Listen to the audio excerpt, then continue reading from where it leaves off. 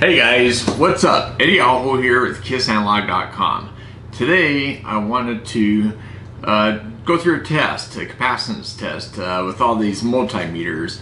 Um, I've never known if I could really trust my hand multimeter to give me a good value and um, you know as a switch mode power supply design engineer doing audio uh, design as a hobby um, often I want to know what my capacitance is. So I've usually opted for a more expensive LCR meter. And starting up my lab um, I bought this meter over here um, fairly inexpensively. I'm going to go over the price on that. Um, but what can you read reliably on a handheld meter that has that capacitor option? Um, surprisingly pretty good results. I'll show you those. Uh, and uh, anyway, so let's get to it. I'll show you what I found. Okay, for a closer look, here's the CEM LCR meter, the DT9935, and Tektronix TX1, TX3, another TX3 without the holster just to see if, you know, I just want to test all the meters individually and to see within the same brand if they're measuring the same thing. The Fluke 189, the Astro AI WH5000A, the least expensive meter in this group, and DMM 157 from Tektronix, DM 870 from Tektronix, and two DMM 916s here on the end. And the Fluke 8060 and the Mastech are not in this test.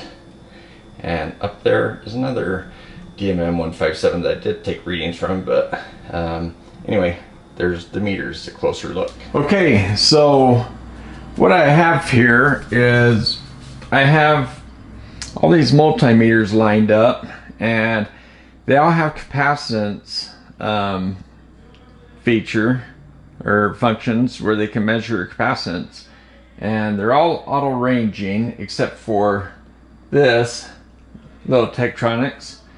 Um, he actually has four ranges and he has three ranges or four, uh, so yeah, three ranges of uh, current. So I thought he might be a little bit more accurate reading capacitance and current. So that's why I got him. Plus he is inexpensive, like 75 bucks. So, um, and I like Tektronix, so I'm just, and that guy over there is the LCR meter. He, I got specifically to re read capacitance and inductance. And, uh, uh, but anyway, so I took six different capacitors. Here's a big one, 400 microfarad. And then these two smaller uh, tantalums, these three are tantalums, wet slug tantalums actually. Then a couple ceramics and uh, and um, um, oh, that, that, guy just turned off.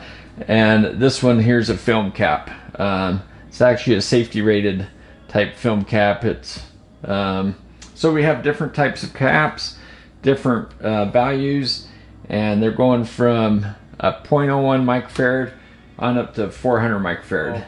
The way I took the readings is I used this set, other than the LCR, I used this uh, lead set, connected it to the capacitor, and then moved it from the meter to each meter so that I wouldn't uh, disturb uh, this setup. So it'd be pretty much the same for every meter.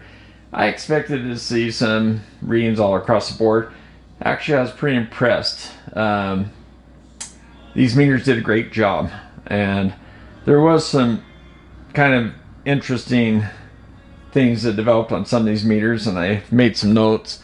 And so, um, let's see, I don't know if you can see that very well, but you probably pause that and we'll talk about these things here. I'm gonna I'm gonna stop this for a moment, put the prices of these meters here so you can also compare the price I paid for each one of these meters. Um, let me just be right back after I do that. All right, so I hope you can read this. This is um, the notes on the on the results.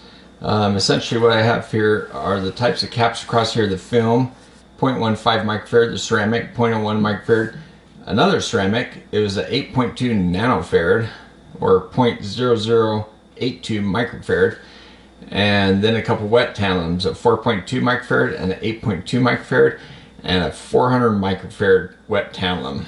And this is the results of these different meters, and they all vary within.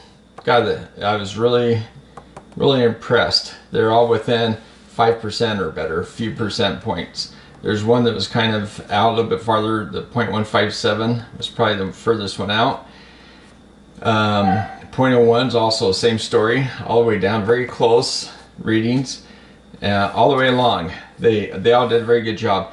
Uh, anyway, there you go. Hope that's helpful, and I think you can trust your capacitance readings on your handheld devices. Now, if you're doing things like oscillators or timing circuits uh, where you need precision, well then of course you know you need precision and might you might need more a better tolerance uh, than the meter might give you. But you know for general capacitance readings um, from you know 8.2 nanofarads all the way up to 400 microfarads uh, seemed like I got pretty good readings.